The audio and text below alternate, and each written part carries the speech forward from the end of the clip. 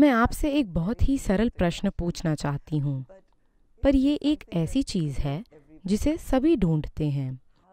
कोई खुशी कैसे पा सकता है? ओह। ये एक वाकई सरल प्रश्न है पर आज कोई भी खुश नहीं है। आप ऐसा क्यों कह रही हैं? क्या मैं दुखी दिख रहा हूँ? आप नहीं पर हमारे आसपास कई लोग खुश नहीं हैं।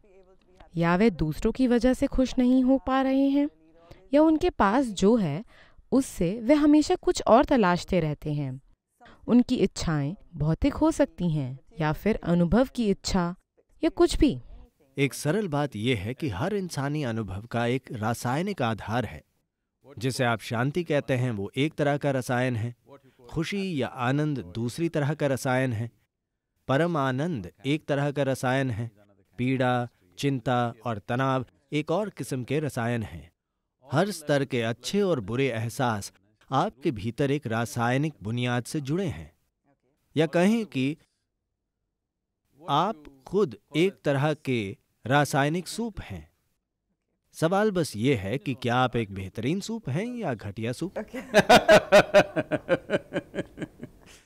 अगर मैं दस अलग अलग लोगों को सूप बनाने की सामग्री दूँ एक ही सामग्री दस लोग एक जैसा सूप नहीं बनाएँगे। दस सूप के दस अलग अलग स्वाद होंगे। Though the ingredients are same, हालाँकि सामग्री वही है। इसी तरह हम सभी एक ही सामग्री से बने हैं। पर देखिए हमने खुद को कितने तरीकों से बनाया है। तो सूप बनाने पर ध्यान देने का समय है ताकि ये एक अच्छा सूप हो ये घटिया सूप ना हो। अगर आप आनंद का रसायन स्थापित करेंगे तो आप ऐसे ही होंगे। हम लोगों को यही सिखा रहे हैं। हम उन्हें खुश या शांत होने की सलाह नहीं दे रहे। हम उन्हें उनकी केमिस्ट्री को मन चाह रूप देना सिखा रहे हैं। अगर आप आनंद का रसायन बना लें तो खुश होने की चिंता क्यों होगी? आप खुश ही होंगे। वाकई सदगुरु, आपने वाकई ऐसा संगठन बनाया है, जहाँ बहुत से लोग वॉलंटियर हैं। वे खुश हैं। उदाहरण के लिए, एक सकारात्मक माहौल और संस्कृति है।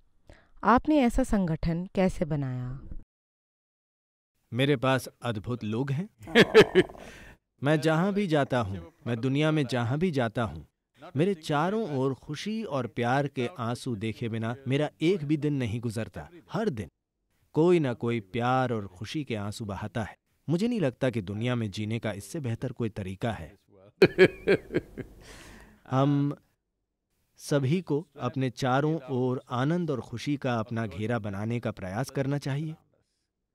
क्योंकि यदि आप अपने स्वभाव से खुश नहीं हैं, यदि आप हमेशा दुख के भय के साथ घूमते रहते हैं, जब तक दुख का डर आप में है, आप अपने जीवन में हमेशा अधूरे कदम उठाएँगे, हमेशा आधे कदम। अधिकांश लोगों ने खुद को अपंग बना लिया है, बस दुख के डर के कारण। मेरे साथ क्या होगा? हमेशा यही सवाल। जो कुछ भी होता है, मैं ऐसा ही रहूँगा। जब आपको ये विश्वास होगा, सिर्फ़ तभी आप जीवन के शिखरों को छूकर देखना चाहेंगे। अगर कुछ होता है तो आपको कोई फ़र्क नहीं पड़ता। अगर कुछ नहीं होता है तो भी कोई फ़र्क नहीं पड़ता। तभी आप वाकई जीवन के हर आयाम का पता लगाना चाहेंगे। तो सबसे पहली और सबसे महत्वपूर्ण बात यह है कि आपके होने का तरीका आपके आसपास की चीज़ों से तय न हो। अगर आप खुद में ये पहलू ले आए तो दुख का कोई डर नहीं होगा। जब दुख का कोई डर नहीं होगा, तब आप बिना किसी हिचकिचाहट के जीवन के हर आयाम को छू पाएँगे।